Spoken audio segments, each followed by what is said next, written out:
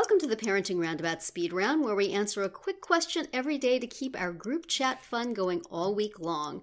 Uh, today, we thought we would talk about whether we do things that involve making clothes for ourselves or our kids, uh, such as knitting or sewing or crocheting. And to preface my answer, I will say that I remember when I was growing up, my mother felt very strongly that she should be sewing clothes for me. She went to classes for sewing. There was a big stretch and sew movement at the time where you were sewing with knits. She had a whole room in our house that was her sewing room, and we stayed the heck away from it because there was always wailing and screaming and crying oh. and incredible frustration coming from that room. And perhaps because of that, my answer to this question is no, no, no. I buy my clothes. Thank you very much. How about you, Catherine? Are you a sewer or a knitter? No, I have never. I've never learned how to knit um, or crochet. Well, I probably used to know how to crochet, um, and I rarely even like sew buttons. My husband does that because he does not like to you know, things pile up and he's like, fine, I'll just do it. things pile up in my house, but my husband never does them. We just, we just, eventually we just throw things away after they've been sitting there for a few that. years and they've been outgrown and we've forgotten they exist. but I will say that my mother, when I was little, she could knit and she could sew and do crafty things.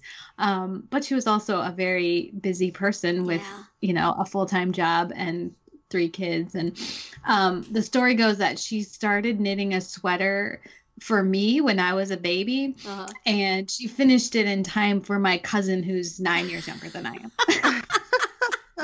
Nothing goes to waste. That's right. My cousin got to wear it. So there you go. How about you, Nicole? Are you a uh, a clothes maker? I can when I want to be. Mm.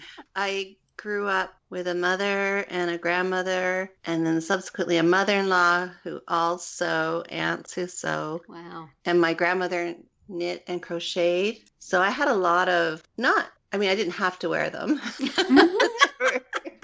there were clothes that were made for me and various items around the house that were made, and then uh, I took a I took a few more courses in high school, and then I actually made my grade 12 graduation dress. Wow. No, grade 11. Oh. Sorry, it wasn't my graduation. It was my friend's graduations. But I made my dress that I wore to that dance.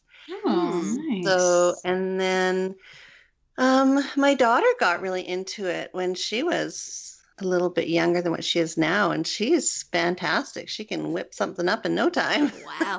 so nice. My daughter can do her bedazzling on her skating dresses. right. the important things. Mm-hmm. so we know if we need anything made, we just uh, call up Kristen.